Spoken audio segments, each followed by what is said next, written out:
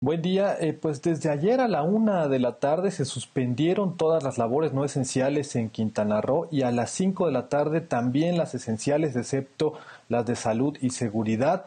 35 mil turistas eh, en Quintana Roo fueron puestas a resguardo. Eh, en todos los puntos turísticos, Cancún, Isla Mujeres, Cozumel, la isla de Holbox, fue totalmente evacuada, cuatro mil personas fueron llevadas a los albergues. También el centro de convenciones de la ciudad de Cancún se habilitó como refugio para todas las personas que habitan en la zona hotelera y que consideran que sus domicilios no son seguros. También se desplegaron cinco mil elementos tanto del Ejército como de la Marina Armada de México y la Guardia Nacional para brindar apoyo a la población que lo requiera. Se cerraron, como ya lo mencionabas, los aeropuertos y por supuesto también los cruces marítimos, los ferries entre la isla de Cozumel y de Isla Mujeres con eh, Cancún y con Playa del Carmen.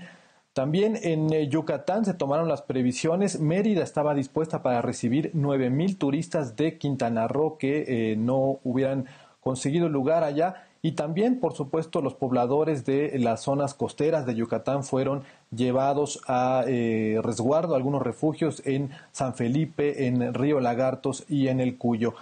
En eh, los hospitales también eh, las áreas COVID, por ejemplo, del Hospital Jesús Comate, que estaba pues instalada con carpas en la parte exterior, todos los pacientes fueron llevados al interior del edificio para pues tomar las precauciones. Se vivieron algunas compras de pánico desde la tarde de las personas que fueron a conseguir víveres para pues tomar sus precauciones. Esto entre otras medidas, Alan.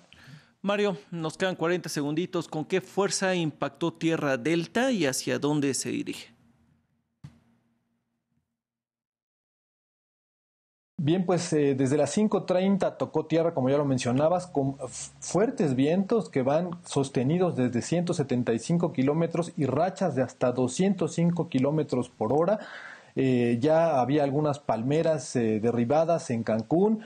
Se sienten ya los efectos de este huracán 2. Se dirige hacia Cancún en las próximas horas. En el transcurso de la mañana serán los momentos más difíciles también en Yucatán y se prevé que hacia después del mediodía eh, avance ya hacia el Golfo de México, pues el transcurso, el desplazamiento es a una buena velocidad, eh, por lo que no se prevé que dure mucho tiempo sobre tierra mexicana.